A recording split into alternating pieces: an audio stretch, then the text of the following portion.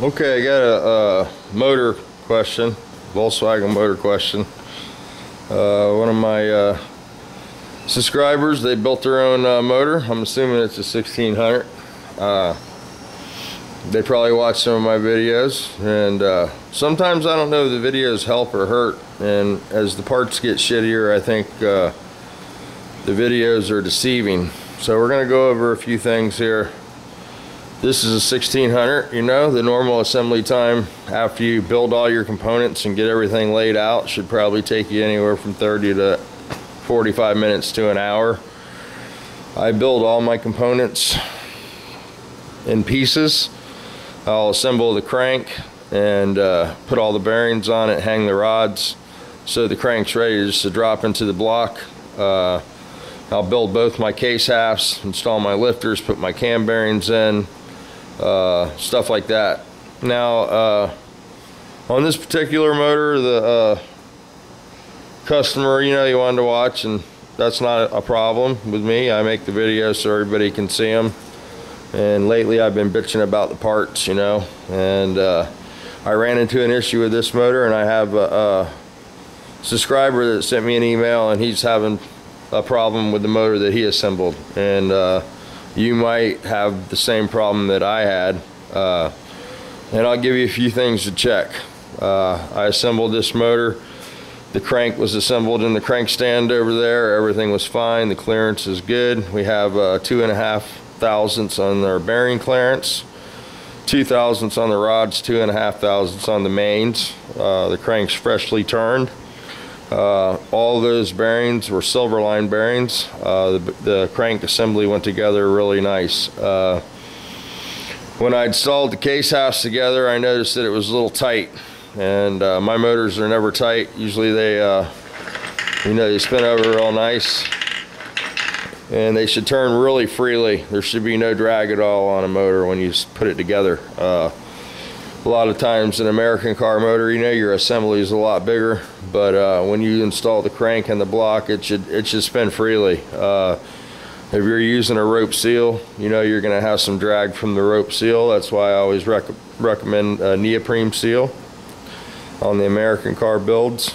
But on this, uh, it wasn't the seal, it wasn't the crank. We knew the crank was good, and uh, we used the same cam that was in this assembly before. So I didn't think that we would have a, a, a gear issue. Uh, the crank gear and the cam gear, sometimes uh, they can be not compatible. And uh, what I recommend to do is when you uh, have your case laying sideways before you put your uh, case halves together, rotate the crank and the cam together before you put the case halves. You know, you want that to turn over nicely and not spit the cam gear out of the crank gear. It should stay meshed and turn freely. And this one did that. The other thing that I preach is before you put your case halves together, I always tell people to, uh, well, I probably won't have one here now because I want, you know, the demonstration thing. The center main, you never put both center mains in. Always leave the, we'll use this for illustration purposes. This isn't a Volkswagen center main bearing. I have one right here. Here we go. Here we go. You never want to install this in the second case half. You know, put your bearings in, of course, where you're going to lay your crank. Always leave your center main bearing out of the half that you're going to drop on. You should be able to drop the bearing over the crank before you put the case half. Drop it over the crank and the bearing shouldn't rock. It should be dead stable. If the bearing moves any at all, you need to check your dowel pins one more time. You know, your little dowels. You want to make sure that these dowel pins are uh, lined up. Here's one right here. Little dowel pins. They have to be lined up with that bearing.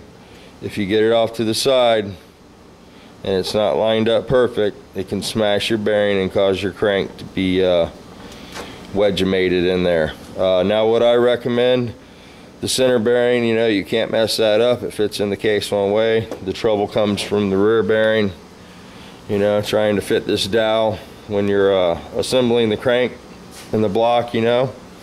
This is on the back of the crank and you sort of got to spin it around.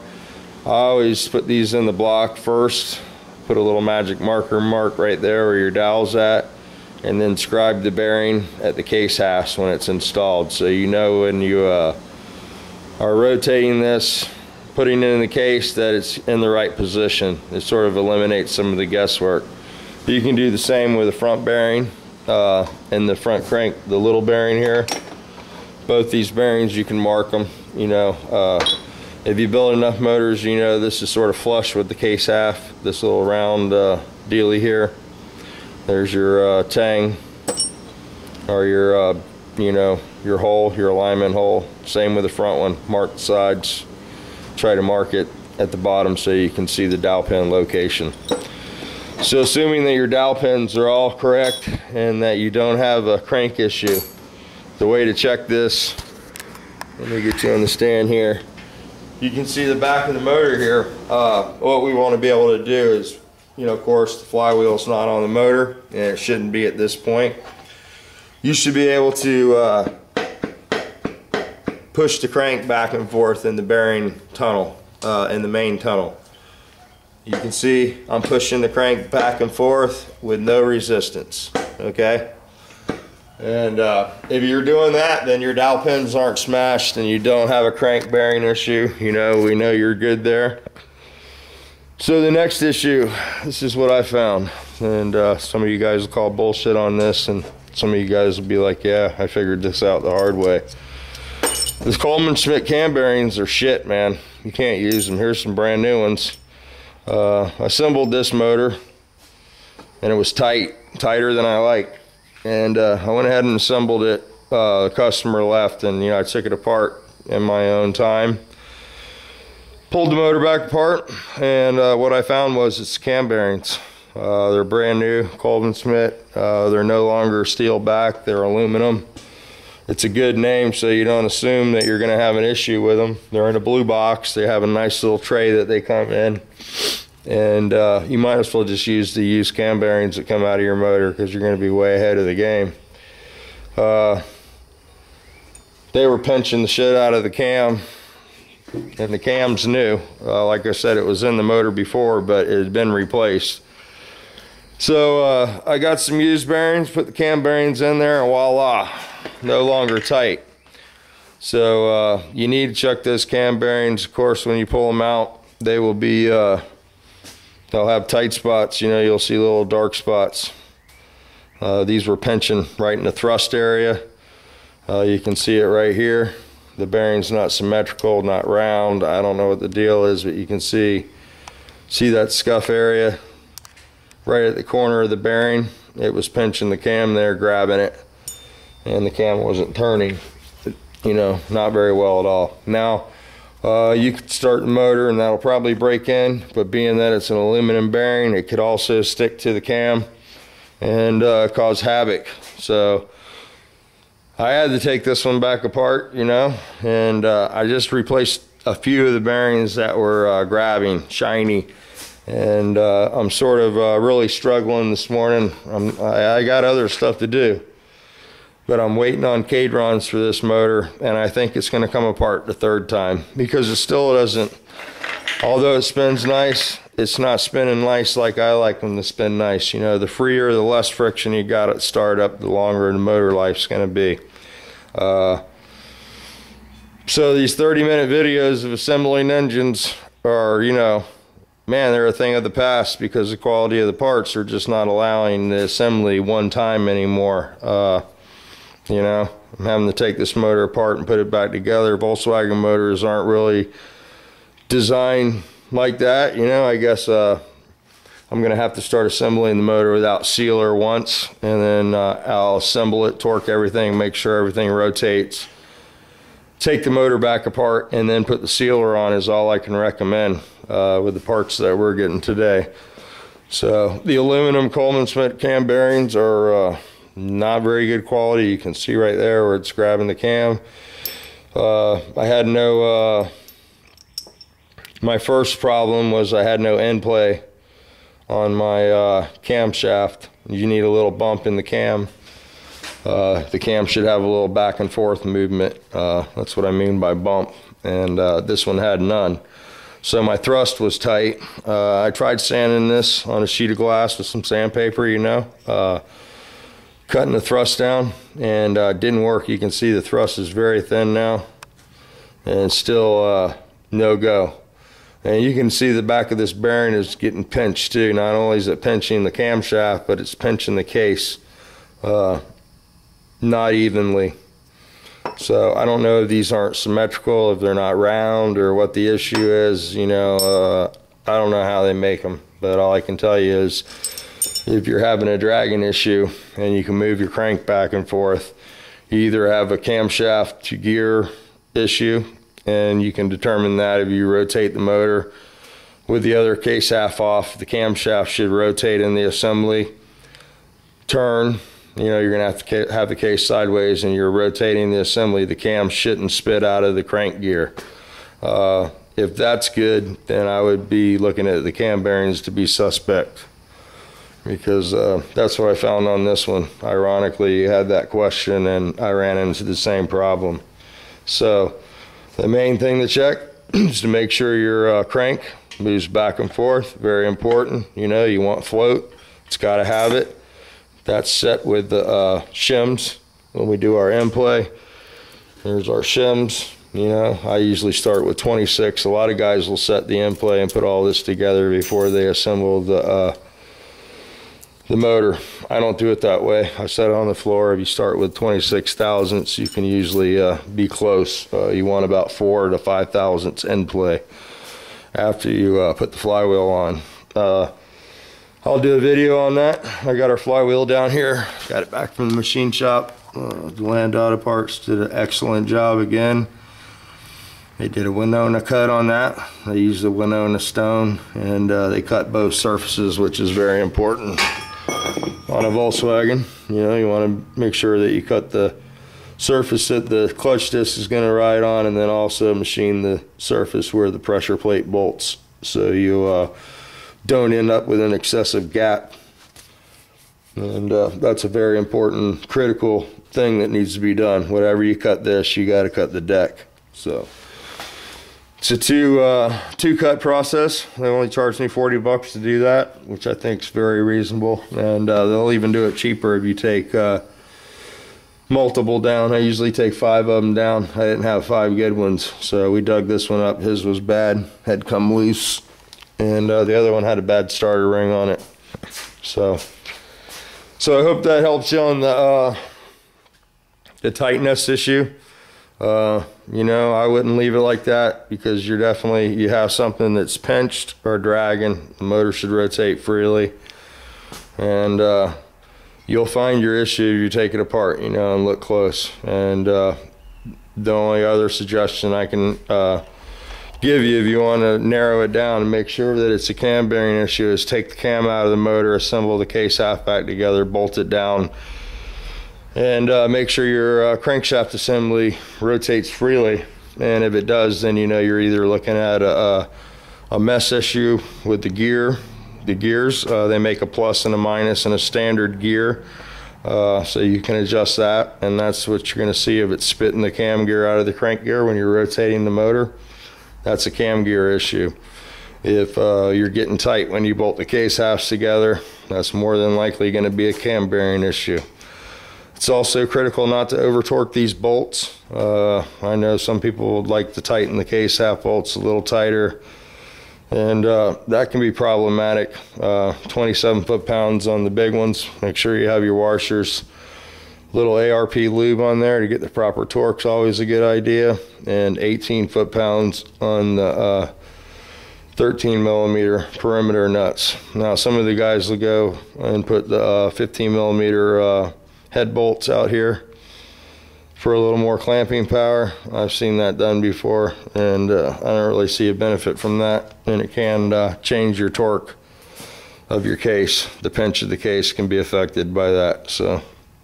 Obviously, when you put a bigger fastener on there, you have more clamping load at the same torque. So there's no reason to uh, over tighten that, especially if you put a bigger nut on it. So uh, those are the only things that I can uh, tell you. The other thing that can cause you uh, a little bit of drag is your oil pump assembly. A lot of times these pumps are uh, sort of a universal deal. You need to make sure that you have the correct pump for the camshaft that you're running. They have a dish cam and they have a flat cam, two different types of uh, camshafts. I think if you look at my uh, video from a couple days ago, we went over that a little bit. And uh, I always assemble the pump without the gasket into the case half put my gear in there and make sure it's not protruding out of the pump, you know, so when you bolt the cover on, it's not binding the gears up in there. Uh, sometimes you have to adjust the rod in the gear, and you can do that with a, a press. I don't know if I have an oil pump gear here. Probably don't, you know, never something when you need it. But uh, the oil pump gear that actually has the uh, shaft on it you can actually press that shaft through the gear. So if you need to adjust the depth of the gear, you can just uh, put it in the press and uh, press the shaft where you need it. So that should cover everything that you could possibly have a, a binding issue, you know. Uh, sealer on the case halves, you know, you never want to put sealer on the center mains of the case. I think you probably know that. If you watch the videos, I don't ever do that, just the perimeter of the case not in the center mains. And uh, check those things. I hope the video helps you out. And, uh, you know, uh, I'd start there. And uh, no matter how much time you have in that motor, don't be afraid to take it back apart. You know, that's uh, one thing that you have to uh, have that mindset when you assemble engines. You know, you're the one that's assembling the motor. It's on you. You know, you have to be able to take something apart, even if you have a lot of time in it, because if it's not right, then uh, it's not worth your time anyway. So uh, be sure to take it back apart, check for those issues, make sure you got the crank float, make sure you got proper uh, cam mesh with the gears, and uh, check your bearings. I would be suspect of those if you're using the Mauls. Uh, I also heard that there was some issue with the double thrust bearings. So if you're using those, same thing. You know, check the cam bearings, pull the cam out of the motor, reassemble it with no sealer, and see if it turns freely with just a crank in there. And uh, that'll narrow your uh, search down. So hope that helps. And uh, again, this is for my buddy out there in Texas. So uh, I hope you guys get it figured out. Don't get discouraged by it. You know, uh, this is why you assemble your own engine. A lot of guys would just leave that.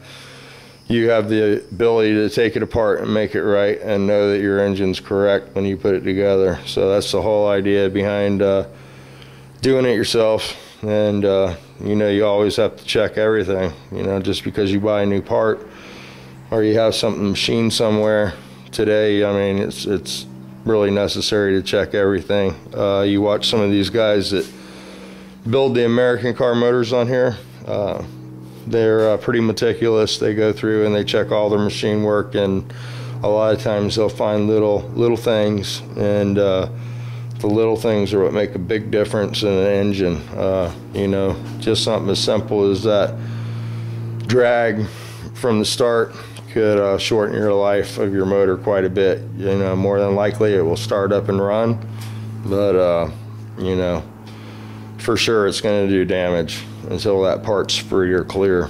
And uh, with the construction of these new bearings, it's it's it's something that might not cure itself, you know, being that they're aluminum construction. Uh, 600 degrees last time I checked was the melting point for aluminum. So you know if you have something that's uh, a friction situation, and uh, obviously there's no clearance if it's pinching the bearing like that, so you're not going to get any oil at all in this area where my finger is at. You know, if it's shiny like that, there won't be any oil there because there's no clearance. Uh, you know, you have to have film clearance for the oil to get into, and if you don't have that, you're going to have parts failure because this is going to be metal to metal contact. So I know it's hard for a lot of guys to believe that everything in the motor rides on a film of oil, but uh, in theory, that's how it's supposed to work. You know, we're never supposed to have metal to metal or uh, contact of any any sort. You know, we should always have a film of oil in between our parts. All right, guys, I'm going to go ahead and shut this one down. 19 minutes. Uh, we'll be uh, some people that aren't happy with this one. But uh, if it helps one guy make his motor right, that's all that matters.